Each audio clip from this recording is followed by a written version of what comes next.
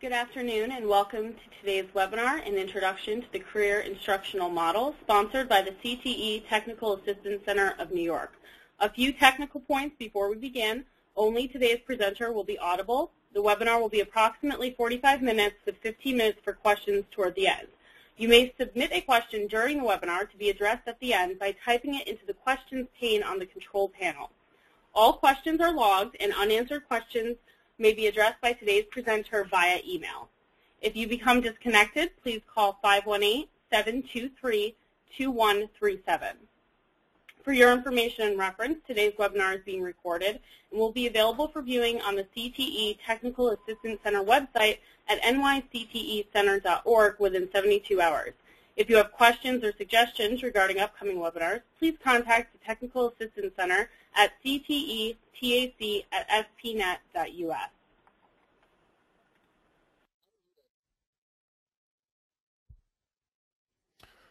Good afternoon. Um, my name is Dick Jones and delighted that many of you have joined us this afternoon for uh, a webinar. And uh, thank you for Gretchen for setting this up. Uh, I'd like to uh, amend one of Gretchen's comments about uh, submitting questions. Um, I'd like to try and take those through the um, uh, session this afternoon. So at any time you've got some questions, please submit those and uh, I'll have her get those to me and we'll try and uh, answer some of those questions. We want to make this uh, more interactive in a session rather than just a straight presentation. We've got some polling questions for you to respond to. Um, and uh, we're looking forward to having this more of uh, an interaction. Delighted to share with you this afternoon some of the work that I've been doing over the last year uh, to define what we're calling a career instructional model. It's part of the career readiness initiatives uh, under the, the uh, CTE Technical Assistance Center. Um, this has been some exciting work because it combines a lot of the experiences that I've had over the years.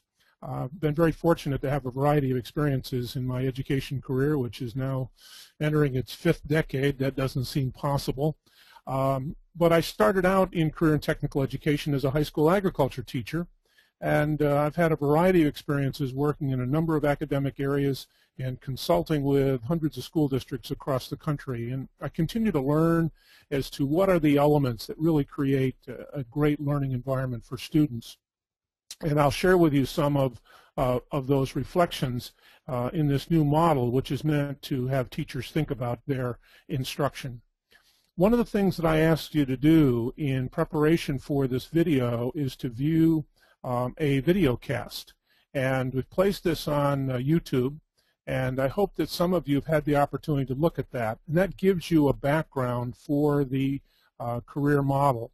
I'm going to go into a little bit more discussion about that and particularly the additional webinars that we're going to conduct in this series are going to be much more interactive. So I'd like you to consider uh, viewing the videos that will be uh, recommended each time so that you can have some background and we can move uh, directly into more discussion uh, as part of the webinars. But this first one is uh, an introduction and in doing that I'm going to build upon the short presentation that you saw in that video to talk about how you can use this uh, model and begin to uh, use this in thinking about your own instruction or as an instructional leader uh, in a school. I have a one-page uh, handout and if you haven't um, seen a reference to that, here's the link where you can download that one handout. So you might want to jot down this tiny URL uh, um, web address so that you could have access to uh, that particular page. This becomes a nice uh, single page uh, reference uh, to the career model uh, that explains it and the actions that are a part of that particular model. When I'm doing live presentations, this is uh, one page that I often make sure people have and, and can become a convenient reference. So some of you might want, if you've got access there, jump over, download that handout, um, to use for future reference, or you might even use it today um, as we go along. The other thing that I have done is to create a um, Twitter account for the career model. If you want to keep up with the um, uh, activities related to the career model, I continue to get ideas from educators that I interact with. And um, those of you that are Twitter users, uh, suggest you go to career underscore model um, and you can sign up. And as I continue to work and share ideas around the career model, that will keep you up to date uh, with those. Just an uh, overview of the agenda. I want to do a little bit to review the career model and give you some additional explanations beyond what was uh, on the website or the uh, video cast uh, that I recommended. I want to answer any questions that you've got about the model. So as you've got some ideas and questions from what you've already seen, um, or as I go along today, uh, please submit those questions. Um, I want to explain and demonstrate the surveys. This is the most exciting piece, not just the fact that we have the model, but that we can uh, use some surveys for teachers to think about their own instructional practices. And this is a free service of the Technical Assistance Center, and want to explain these surveys and encourage you and your colleagues to use those. I'm going to make some connections about how this model can be connected to improving uh, instruction and uh, also review the upcoming additional webinars uh, in this survey or in this series where we'll be going into uh, greater depth uh, around each of these. I want to start right now with a poll question um, and thinking about this notion of career ready. And I'd like you to answer some question, answer a question uh, with some responses. What factor do you think is most important in helping students to become career ready? So Gretchen, if you would put that survey up.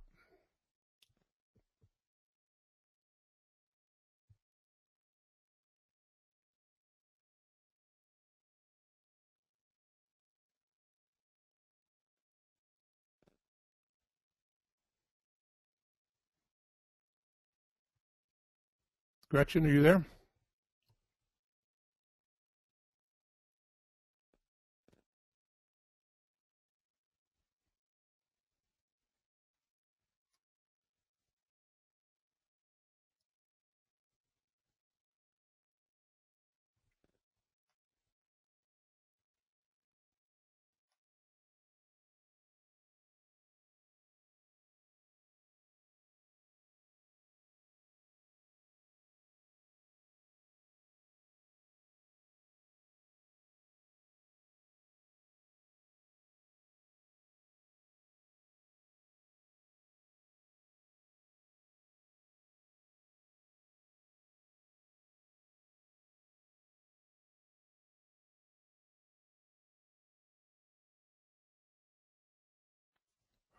I was having some trouble getting that display there.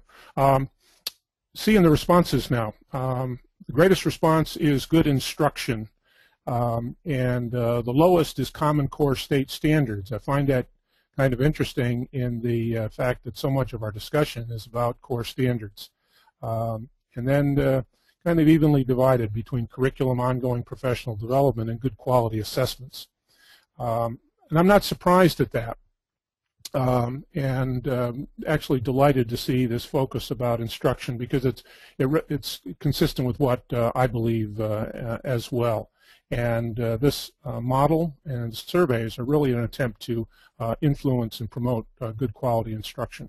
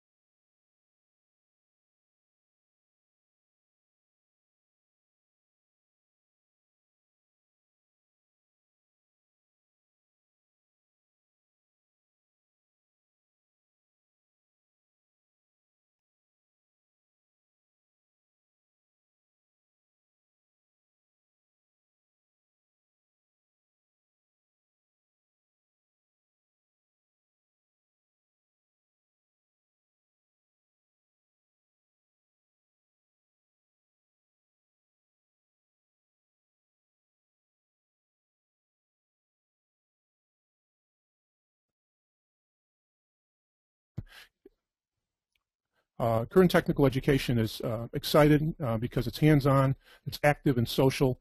Uh, teachers focus on the whole student.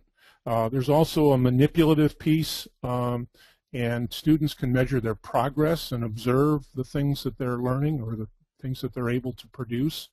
Um, it also is relevant to their future plans um, and uh, what they see as their their future. Um, it's a reason the students put forth effort in career technical education. And I said, is there a way that, in addition to promoting more career and technical education, that we can connect that to um, uh, elements of good instruction and begin to think about some categories within those.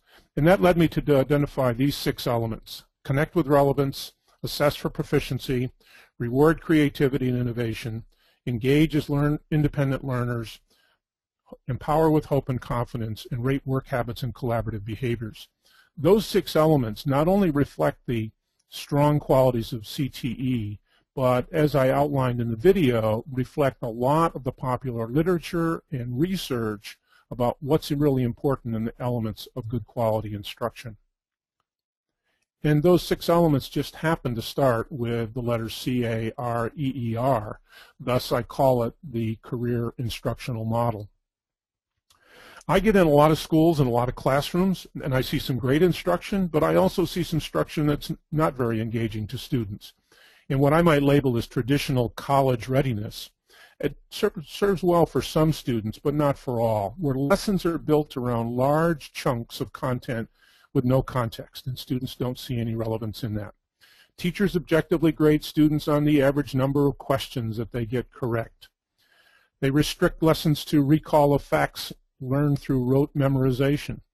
They insist on following a pacing guide to cover the curriculum um, and all students learning at the same speed and doing the same work. They narrow students' thinking as passive accumulators of knowledge, and they give students only independent work and reduce grades for poor behavior.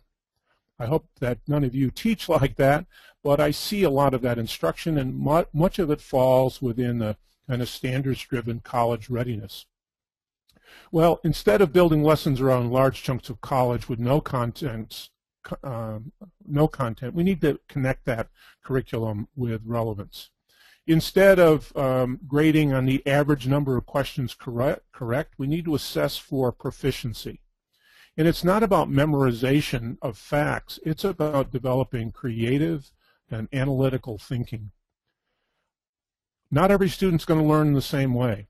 And the challenge for teachers to be effective is to engage students as independent learners.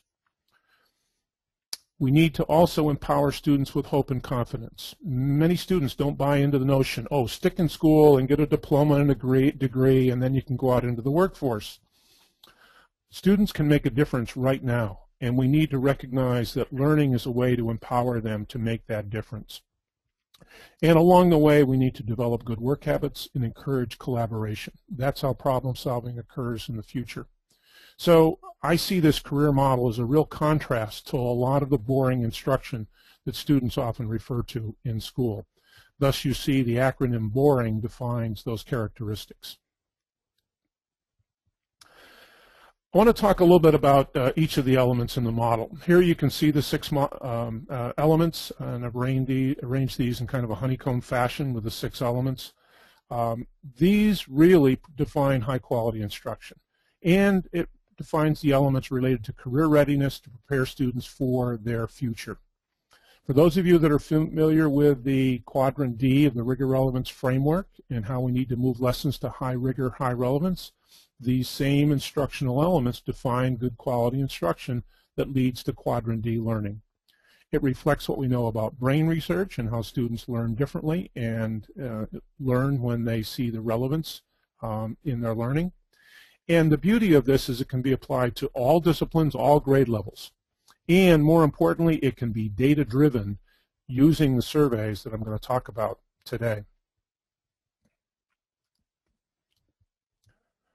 The um, um, let me go into some of the actions in each of these six elements um, very briefly.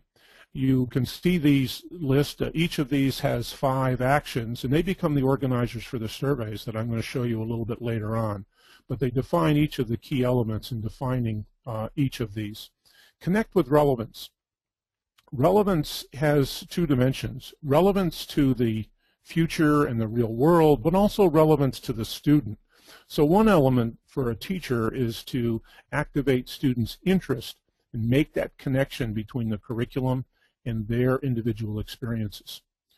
The other dimension of connection to the real world is to use authentic materials. And students can judge when something is just busy work or constructed for education purposes and doesn't give them um, real world problems. Another part of the connection is to uh, connect to previous knowledge. It's important for teachers to know their students, know their prior knowledge, and have an appropriate stretch. Often students get discouraged when they see a huge leap between what they currently know and new information that's presented to them. An aspect of this authentic materials are real-world problems, problems that are more open-ended and not leading to a nice, neat solution that's easy to grade. It may be a bit messy in trying to figure it out and define what the real problem is. These are the kinds of work that demonstrate authenticity, relevance, and really challenge students. And finally, application that real learning comes through application, not just recall. And uh, that's the, defined in the rigor relevance framework. And the more that you can get students to apply their knowledge. And this is a consistent piece of the Common Core standards that many people fail to recognize. If we're truly going to implement Common Core standards, and you read the language in those standards, it talks not about the recall of knowledge, um, but the application uh, of knowledge. The rigor relevance framework, and I hope that many of you are familiar with that, is a really powerful tool for reflection on instruction. And these surveys just go that added dimension. And many CTE teachers that teach very comfortably in quadrant B, high degree of application, whenever they're teaching something, they may introduce the basics in quadrant A, but move very quickly to quadrant B in the application, and then ultimately try and get to more challenging problems in quadrant D. Um, it is that relevance piece that truly engages the students and moves to that high level of learning.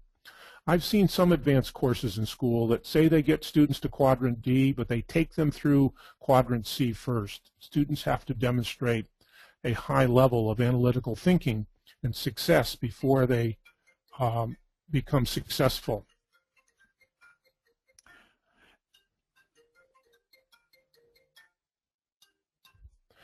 The um, rigor relevance framework fits very nicely with this model, particularly in this aspect of connect with relevance. So here's the five actions under connect with relevance, and you'll see those again for those of you that go on and take the survey.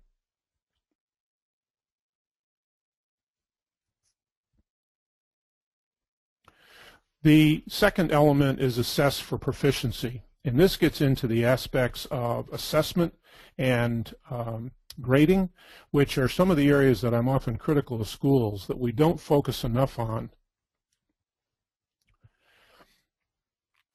We need to make sure that our assessments match what is essential to learn.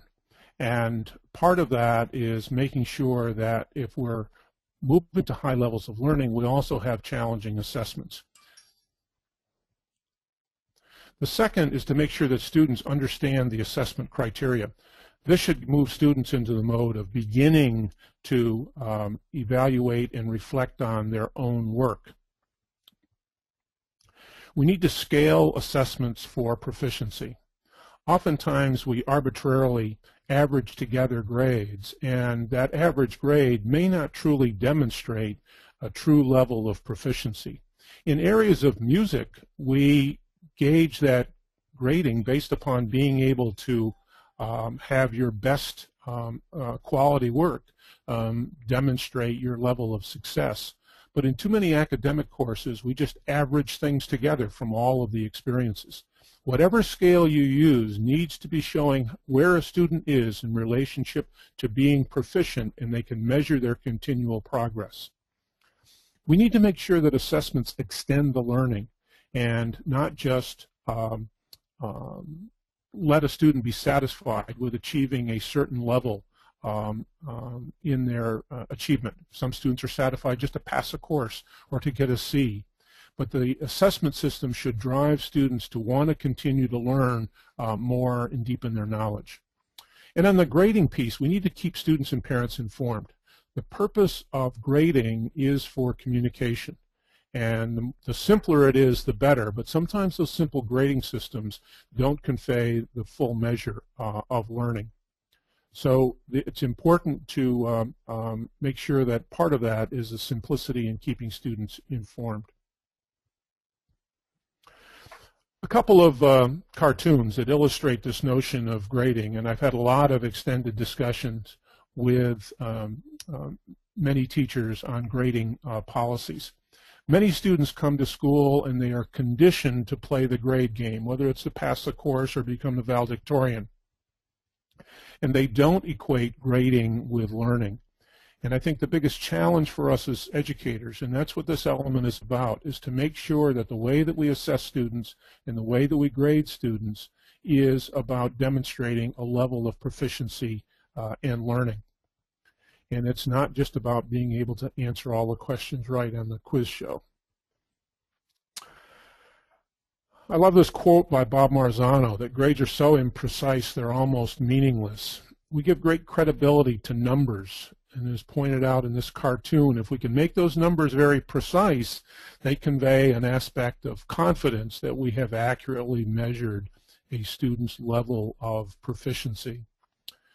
Transferring uh, proficiency into a numerical item is convenient for conveying information to parents, but it by no means measures some validity as to whether that's a true measure of proficiency. It takes multiple measures, it takes multiple measures over time, and we need to make sure that our assessment practices do that and conveys that message to staff and students not just getting to a number and simply conveying the number and said, oh, here is your level of, of proficiency. So here are the five actions uh, related to assess for proficiency and uh, really require um, us to do a lot of good work in improving our assessment and grading practices. The next area is rewarding creativity and, and innovation. Uh, the actions here are that we need to encourage originality in student work in the way we design the work and what we're looking for in answers. This doesn't mean it doesn't relate to standards in learning. Um, if we think this through, we can link the creative student work to the learning standards. Within creativity, we also want to help students discover their um, talents. And um, oftentimes students have abilities that we don't utilize or get them to um, become familiar with. And by having a variety of work, we often can have some creativity in that regard. We want to encourage risk-taking and support that risk-taking with some positive feedback and support in order to encourage a higher level of creativity. One of the best authors in this realm of supporting creativity and innovation is Ken Robinson. I'd highly recommend you take a look at um, one of his TED lectures or one of his books, uh, The Element or Out of Our Minds. Uh, Ken does a great job in pointing out the limitations of our current education system in providing um, high quality uh, education. Here are the five elements in the actions, uh, or elements, uh, actions in the element that relate to uh, rewarding creativity and innovation. The fourth element is about engagement. And I've had the opportunity to think a great deal about engagement. And um, a lot of the things that I've learned about engagement in the writing that I've done has been about uh, trying to um, put forth, getting students to put forth effort in their improvement. Often teachers will talk about lack of success from the lack of student motivation. It isn't the students' lack motivation, their mo lack of motivation to what we want them to learn about. And so part of that relates to the relevance piece and connecting with students. But here are some of the other characteristics that lead to good um, engagement. Uh, the relationship piece, which is the foundation for student engagement. Students will not put forth any effort until they know that you really truly care about them. Having good routines and procedures, and for a lack of engaged classroom, this is often the place to begin and practice some of those routines that maybe students have forgotten about. Teachers also have a responsibility for active learning strategies. not using the same strategies all the time, and particularly avoiding those where the student is a passive learner.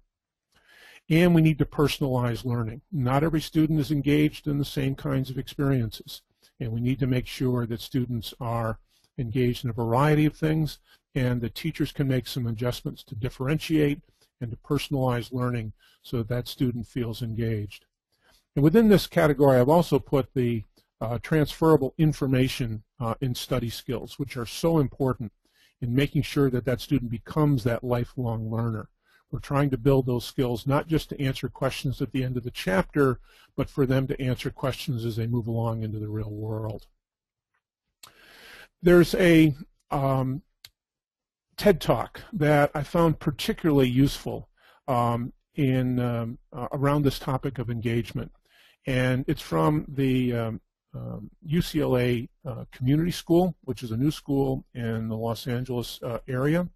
And um, Karen Hunter talks about their e-portfolios and a great TED Talk to listen to.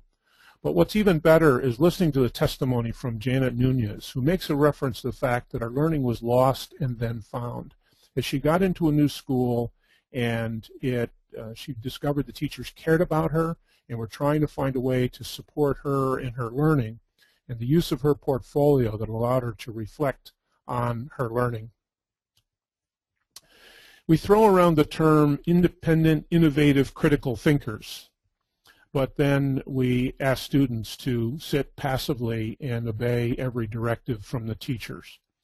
Um, I've heard some outstanding students that talked about negative school experiences that remained with them into their adult career because on one hand the teacher encouraged them to develop some independent thinking, take a point of view and support that point of view, but then got a poor grade because it wasn't the teacher's point of view.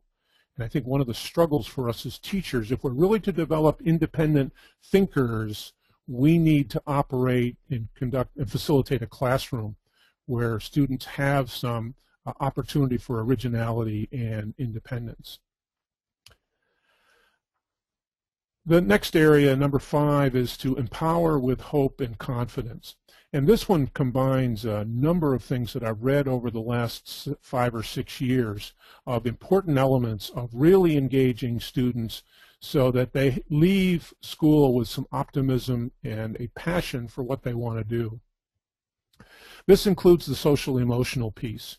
And one of the reasons even students that can do well academically do not succeed because they haven't developed good social emotional skills to function effectively um, in an environment to control and manage their own um, behaviors in a social situation are critical to being successful as well as the knowledge and thinking school, skills that we develop.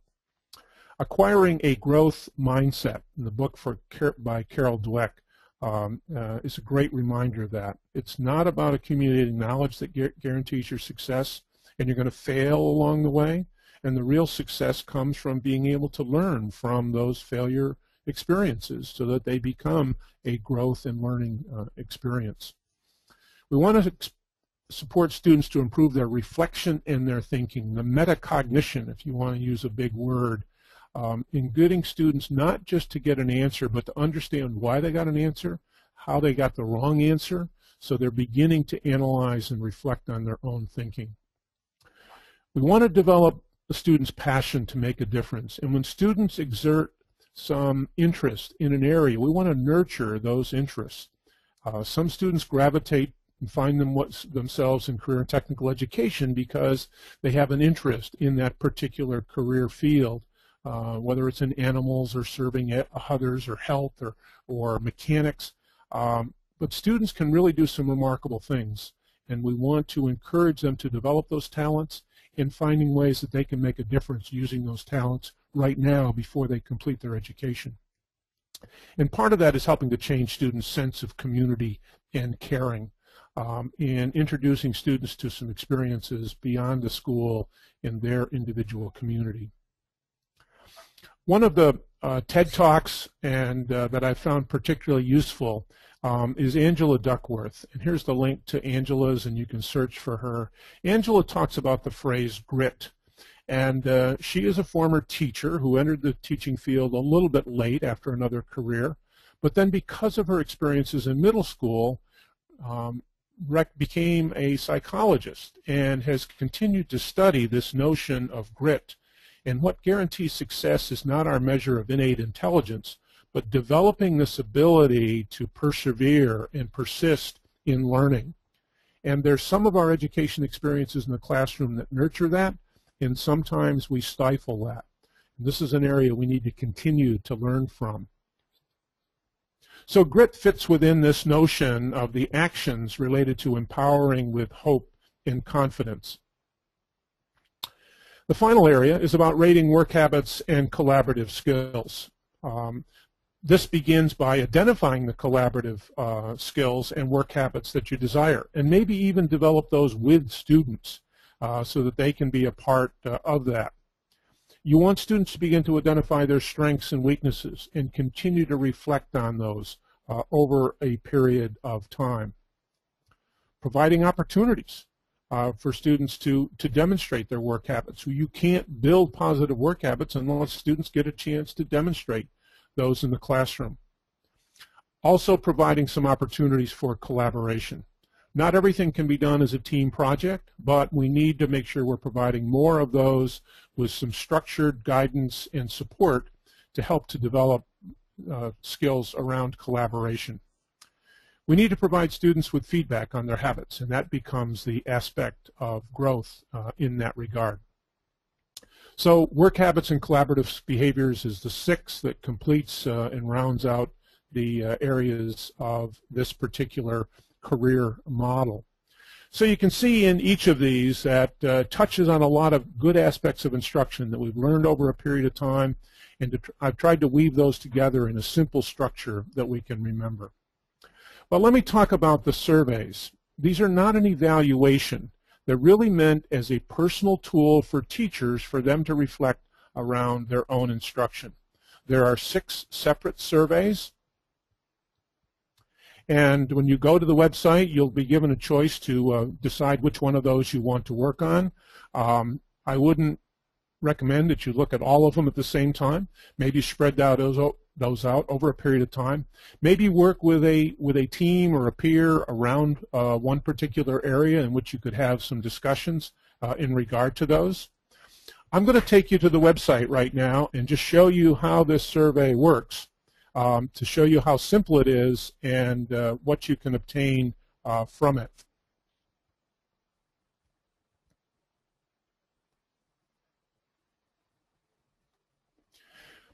The uh, New York CTE Technical Assistance Center um, is the URL nyctecenter.org.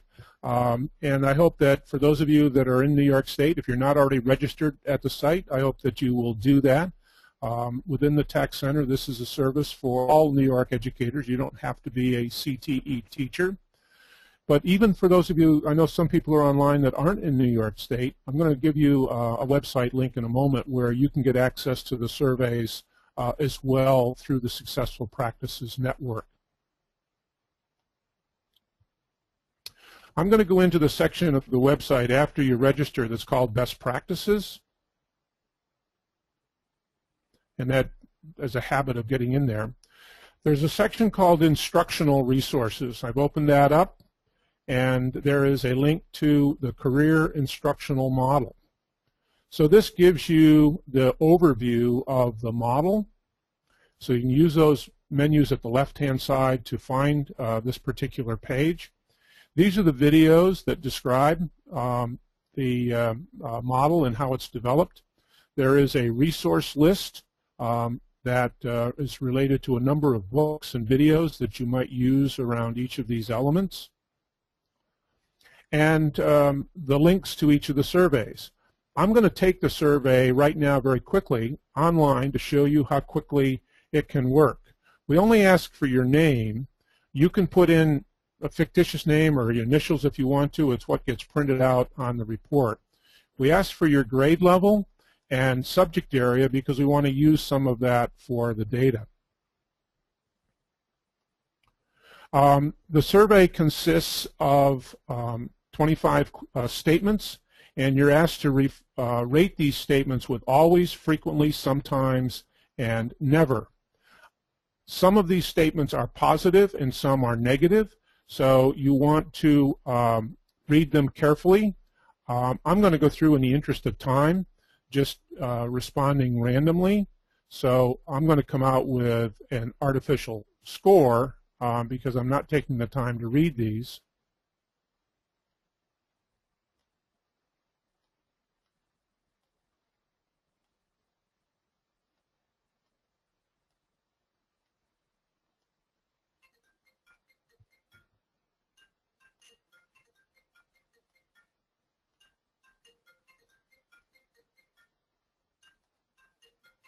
Now you see a full list of all of the responses, and um, there was one I missed, so let me go back and rate that one.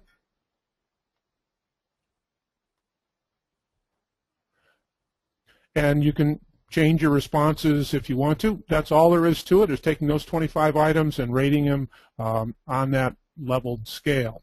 You can print this page out if you want this for a reference so you know how that you related, rated those, and particularly if you come back at a later time, that'll be important. So I click Submit now, and it's given me a, a report. Um, it says in this element of Assess for Proficiency, it's got my name on here, it's got the date, um, and my score is 5.8 out of 10. So as I would expect by randomly filling those in, I got a uh, an average response.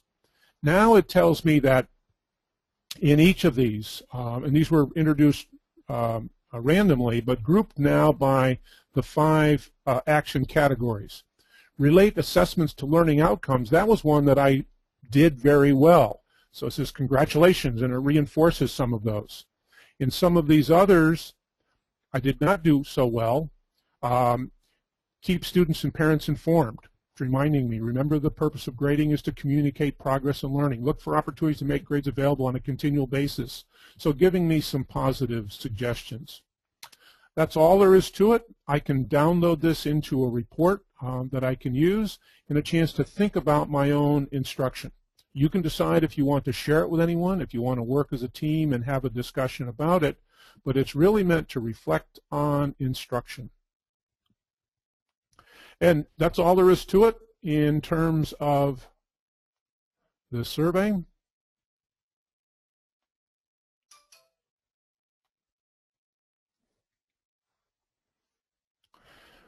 Again, the website for those of you in New York State is uh, nyctecenter.org, um, and there's a variety of rich resources on there, and the career surveys are some new things that we've added. I mentioned the career instructional model uh, resources. Um, is an extensive list organized by each of the categories of things that I've been familiar with or come across recently, um, and some of my colleagues have shared with me uh, some great things that can be a part of your own development or to share with others in a group professional development. Now, for those of you that aren't in New York State um, and um, um, don't want to register as a New York educator in the Technical Assistance Center website, one of the initiatives that the Successful Practices Network is engaging on, which is a national initiative, is to develop a Career Readiness Institute. And so right now we're making these surveys available on the uh, Career Readiness Institute portion of our website. There's going to be some changes in that over the next couple months as this initiative grows. But right now, if you go to the website CRISPnetwork.org. Um, you can um, work to, uh, in the left-hand margin, a menu that says Career Instructional Model, and it will take you to the same set of surveys um, to respond to. So for those of you outside of New York State, you can access those uh, in that manner. Okay, next uh, poll question. Um, want to get some interaction here. Um, one of the questions that somebody asked me about is, well, how does this relate to teacher evaluation? And I've got some answers to that, but I thought I'd first ask you a, a question about what do you predict will be the impact of using the teacher evaluation frameworks? And many of you are involved, and those of you in New York know we've had a, uh, in our second year of teacher evaluation. What do you think will be the impact from all of this focus on the teacher evaluation impacts, in teacher evaluation frameworks?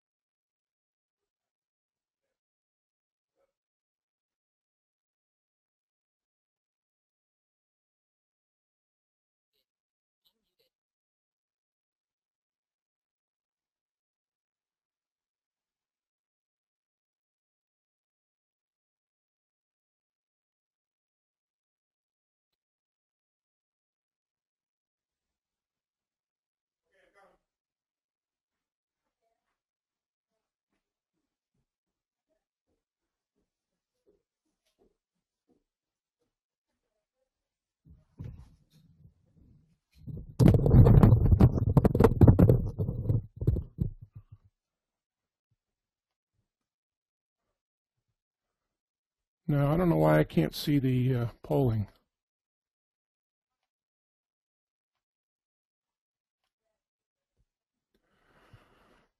Gretchen, you want to give me the results on that? I can't see this one. Sure. The majority of people responded. It was pretty much a tie between greatly improved teaching and learning and modestly improved teaching and learning. Okay. Um, that's positive. Um, I've I've heard some um, positive statements that you know for many time in, in, many uh, instances the evaluation has opened up conversations about uh, instruction.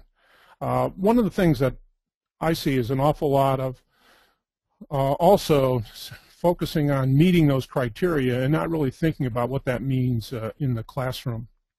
Um, I've looked at a lot of the teaching frameworks, and um, Charlotte Danielson is one that's used extensively in New York and uh, familiar with the four domains, uh, planning preparation, classroom environment, instruction, and professional responsibilities. The um, framework includes a number of elements uh, in each of those. Uh, it gets very extensive in identifying um, the specific elements of that framework. Another one that's very popular, uh, particularly national, is Bob Marzano's teacher evaluation model. Has four domains conveniently, but organized differently, classroom strategies and behaviors, planning and preparation, reflecting on teaching and collegiality and professionalism. Uh, again, a lot of uh, elements that are a part of that. Um, I have some reservations that I think a, a lot of this focus, while it will get teachers to think about good teaching practices. They don't really uh, inspire great teaching. You can't argue with any of the elements. They are very accurate and detailed in the analysis of all the things that go into the teaching profession. Charlotte Danielson's was really designed for teacher preparation. What do you need to learn to become a teacher?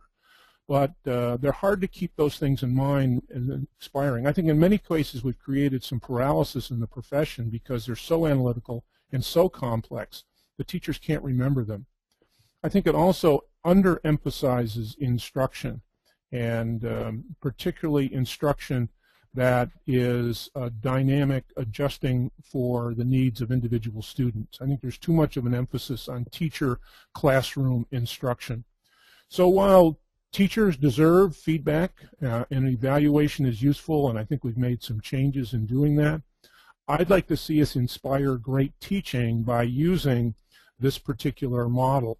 I think this speaks to the elements of what will really make a difference in students' future and create a much more engaging environment that uh, can reach every student, not just some students. I want to talk now just for a moment about the process of improving teaching, and I've got another poll question for you. Um, if you'd put that up.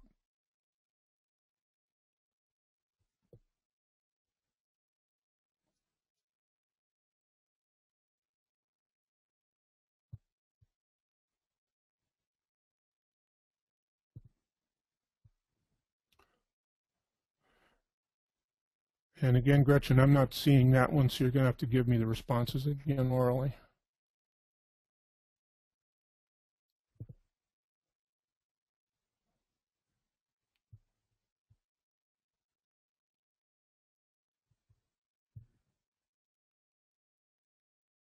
All right, we have about 64% of attendees saying reflect on your own practices and, six, and another large group is saying watch another teacher. Those are the two largest responses. Yeah, and I and I could have predicted that. I think those two are are some of the the, the biggest ones in in regard to that. Um, in the last year or so, I've really become um, um, focused on this aspect. I've been reflecting a lot about reflection. How bad is that? Um, and how powerful that is as a professional learning uh, experience. And particularly those of you that are in a leadership role, how do we stimulate that kind of reflection? And it was then that interest that led me to create these surveys and said, what can we do more? Rather than just telling teachers how to teach and some modeling is good, but really getting teachers to reflect on practices. And so these surveys are an attempt to provide one more tool out there that we can hope to stimulate more reflection because I think that's what really makes the difference. Surveys can be really powerful in reflection. think about how often they occur in popular magazines. You read a little survey and you reflect about your dating life or your nutritional practices uh, from that particular survey. Some of the other things that, that stimulate reflection, good thoughtful questions, and, and leaders do this well uh, to stimulate um, positive improvement in practice. The peer observations, um, teachers think about their own practice when they observe another teacher teaching not to replicate that teacher, but to say, could I have taught that that way? Would I have handled that student response differently? Likewise, site visits, which become a larger observation rather than just observing a classroom, but observe a whole school. Peer review of learning and student work, powerful practice in which teachers begin to reflect on their own learning. Um, video analysis, looking at video and trying to analyze how that relates to their own teaching. Um, book study, uh, and personal writing. Um, all of those um, in this list, and I particularly like the last one, the more that we can get teachers to individually write, it doesn't have to be publishing a book, but just to do a, a blog or a micro blog, putting things out in a in a um, Twitter um, feed becomes a good way of thinking about what's really important, what's worth sharing. You're thinking about practice when you do that. So I'm delighted to see the interest in reflection um, and these surveys and the model that helped to build that is really about this notion of stimulating reflection around teaching with a simple model that emphasizes what's really important. I hope that you will uh, use the surveys um, and look for opportunities to continue the discussion. Uh, we're going to produce six more webinars, um, one webinar devoted to each of the elements. Here's the schedule uh, up on the screen. We're going to do these uh, over a six-week time period beginning after the first of the year in 2014. Um, different days of the week, so um, um, make sure you note these dates. We'll also be sending out uh, notices on our mailing list, those connected with the Technical Assistance Center. In each of these, I'm going to try and do a, a, flipped format again. I'm going to have a video for you to watch in advance, which gives you some background. And then I will also, uh, in the webinar, I'm going to be interviewing some teacher practitioners uh, to share. I'm going to interview them and have them share some of the specific practices that they're doing related to adding relevance or changing assessment practices or uh, engaging students within the classroom. And I've identified some great people to share some ideas with you uh, to continue to deepen your understanding uh, about those elements. But the final poll question, let me ask you this about what else would you like to, to uh, have to learn more about the career model? What might I do and some of the discretionary time that, that, that I've got? And then this one is not a fixed choice. You can indicate more than one, um, and that will be a piece that I can look to. Uh, we've done the surveys. We're putting together a resource list and webinars. But I think this offers great potential for us having some continued dialogue and learning uh, around what really makes uh, instruction so engaging to students. So give us some feedback on that. And Gretchen, if you'd put that poll question up.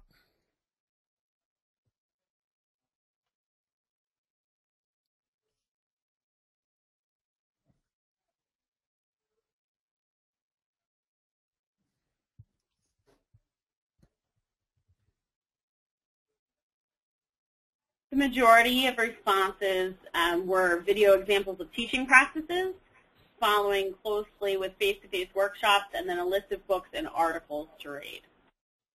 Okay, good, good. Well, we're, I think the video piece, many people like those and uh, certainly have a, uh, a, few of those, and uh, I, I, think that uh, becomes some good suggestions for us in, in uh, how we continue that.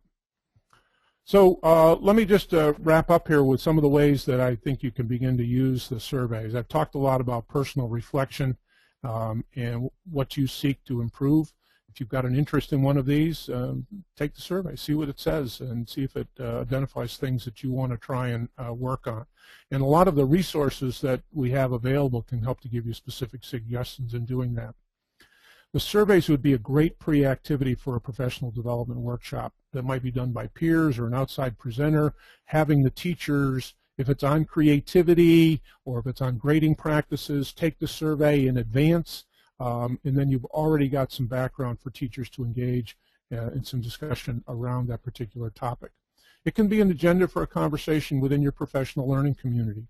Um, so as you're looking at instructional practices, this breaks the ice um, and for teachers to begin to reflect and share ideas about what's working and what's not working. And thinking about the teacher evaluation piece again, it can be part of your professional portfolio um, as you um, um, continue to show your growth in the profession, that you might use periodic assessments in these over time um, in order to um, show that evaluation. So that's the survey in the introduction. I hope we've given you a little uh, deeper understanding uh, of that this afternoon. Um, uh, Gretchen, have we gotten any questions come in that uh, would like me to respond to in the remaining time that we've got? At this time, we don't have any questions. We can give people a few minutes if they have any they'd like to type in. Okay. I uh, gave you the links before of my uh, address, and uh, this webinar will be online um, so that you can um, follow this up, share. Um, but uh, also the whole website uh, is a resource for us continue to share ideas and discussion around the career instructional model.